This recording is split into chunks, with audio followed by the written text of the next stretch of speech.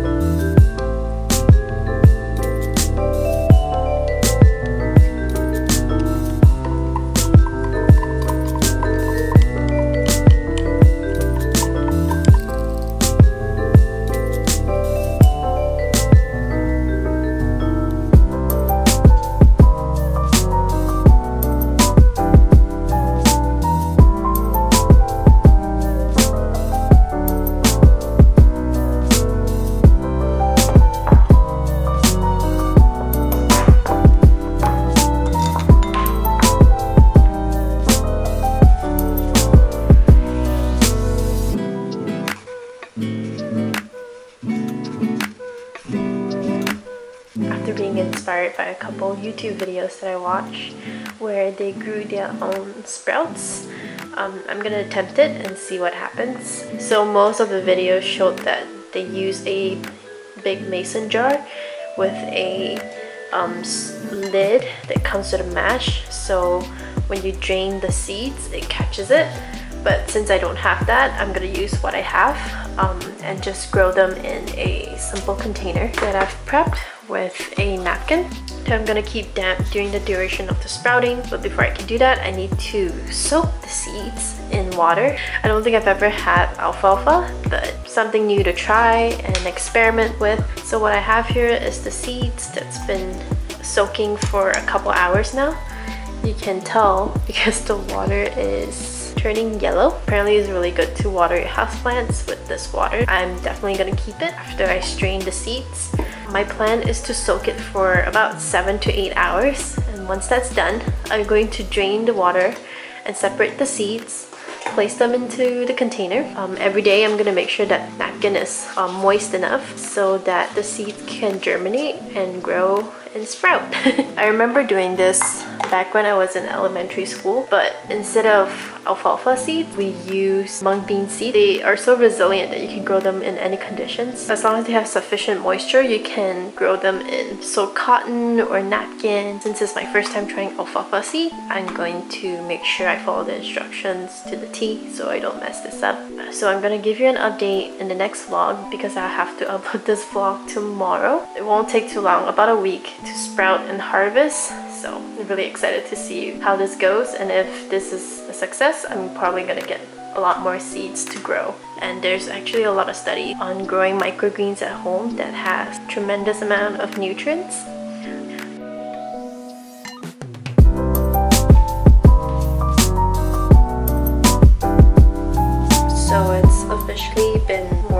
over seven hours I'm gonna drain the water and I'm going to transfer it into this container that I prepared with a paper towel that I'm going to moisten with some of um, water in here. You can tell it turned quite yellow over hours. This water is really good for your house plants uh, just in case you want to save it which is what I'm going to do right now.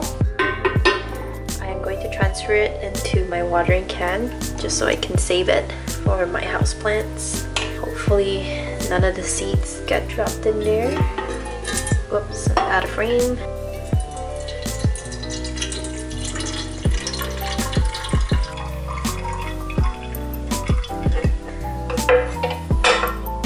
This is our seed. I'm just gonna pour this directly into the container. Hopefully comes out.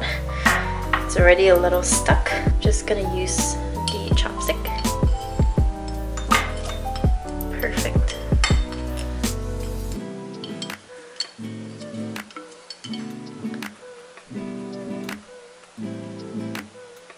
them are pretty stuck in here. Oops. I find that using a spoon didn't help because it didn't fit the opening of my bottle so I just used a knife.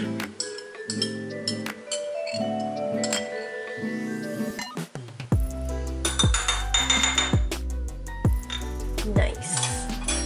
Ta-da! They're all in here.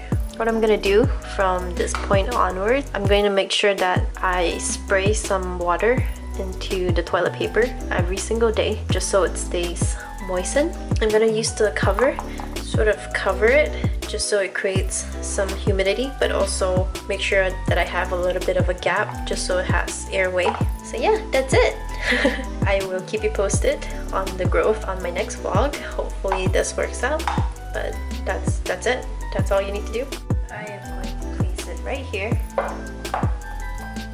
Even though you're growing seeds at home, it still needs a little bit of a sunlight. I have a grow light up here directly shining down, so hopefully it gets sufficient light to grow.